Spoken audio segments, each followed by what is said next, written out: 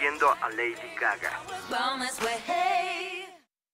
Lady Gaga recurre mucho a algo que en propaganda se le conoce como publicity stunts. Son aquellos montajes o hechos que captan la atención del medio de comunicación para de manera gratuita generar nota.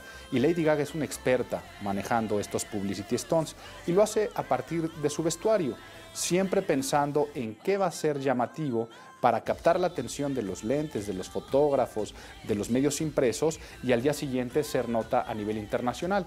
Y eso finalmente se traduce en seguidores en social media, en todas las redes sociales, se transforma en compradores de discos, se transforma en personas que compran boletos para conciertos y sin duda es un impacto mediático muy fuerte a través de su vestuario. Lady Gaga es atrevimiento.